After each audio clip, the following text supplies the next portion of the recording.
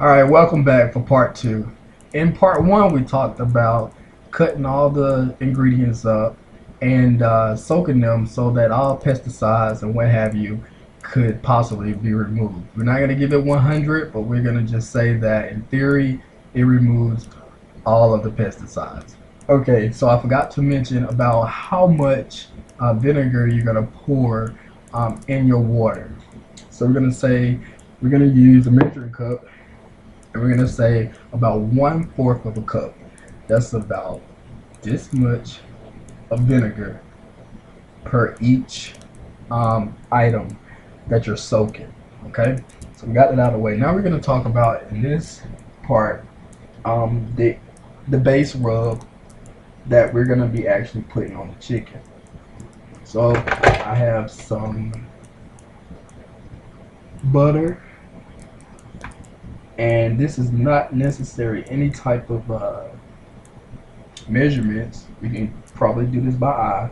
I got a big spoon and I'm just gonna take two healthy spoonfuls of butter. Okay? And if I need more then I'll adjust it as I go along. Some ingredients I have are meat tenderizer ground cumin some sage that's good for rubbing. That'll be the number one ingredient. Ground turmeric. Some hot chili pepper. So we're going to go ahead and I thought I had some open already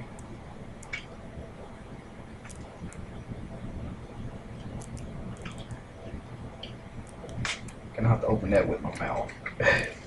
I don't have uh, good nails. So we're gonna go ahead, we're gonna open Sage, okay? And we're gonna go ahead and just pour a healthy amount in there. Let's say about two tablespoons of sage. Okay. Then we're gonna go ahead and pour some meat tenderizer sprinkle some in there. You kind of eyeball this. That's about a teaspoon. Some cumin. A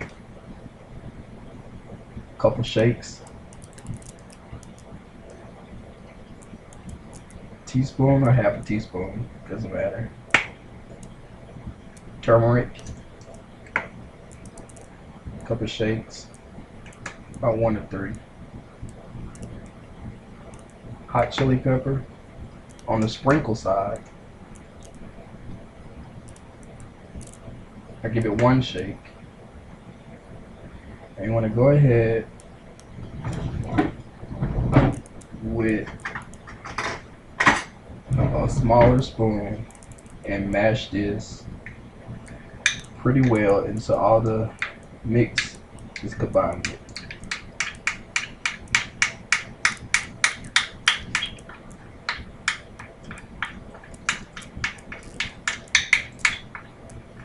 Now butter acts as uh, a tenderizer um, within the meat. It's going to also give it a nice crisp brown texture. Okay, so those are the two things butter are going to do for you um, while cooking uh, with any type of chicken product meat. So we got that pretty much nicely in the consistency that we like it. And we're going to go ahead and we're going to talk about what we're going to do with the chicken. Okay, so stay part, stay tuned for part three.